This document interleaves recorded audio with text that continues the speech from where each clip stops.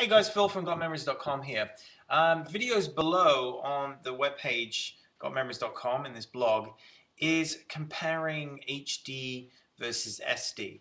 Um, and we're unveiling uh, high definition film transfers here shortly and um, a customer of ours had film transfer done through another company and you can see it's embedded from his user ID and then below is a retransfer in high def um, so you can kind of see the difference between the two um, clean the film up as a 720p uh, transfer so it's 1280 by 720 and uh, the results are phenomenal. The original quality of your film is there. The richness, detail has never before been seen. I mean, on a with the naked eye with a projector, um, just you, you do not get this kind of clarity. Um, and film is naturally grainy.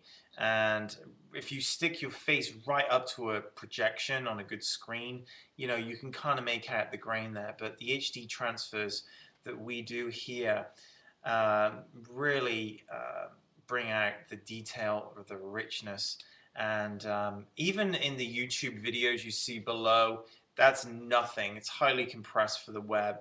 Um, it's nothing compared to the raw file uh, that what you see uh, you know if it's on Blu-ray um, or, uh, or other players. So enjoy and you can kind of get a good feel for the uh, the nice clean crispness crispness of it all. All right enjoy